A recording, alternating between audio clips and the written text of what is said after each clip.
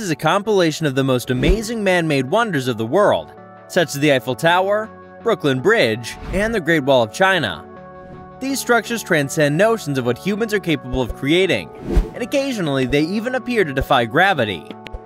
Watch this video to see these amazing feats of engineering. The Eiffel Tower Paris is home to numerous stunning landmarks, including Notre Dame, the Louvre, the Arc de Triomphe, and many others. Even though it has only been a part of the city for 131 years, the Eiffel Tower continues to be the most recognizable feature of France's capital. The 300 meter tall Iron Tower was erected for the 1889 World's Fair and was designed by Gustave Eiffel. It was constructed in a little over two years, which was thought to be a record at the time.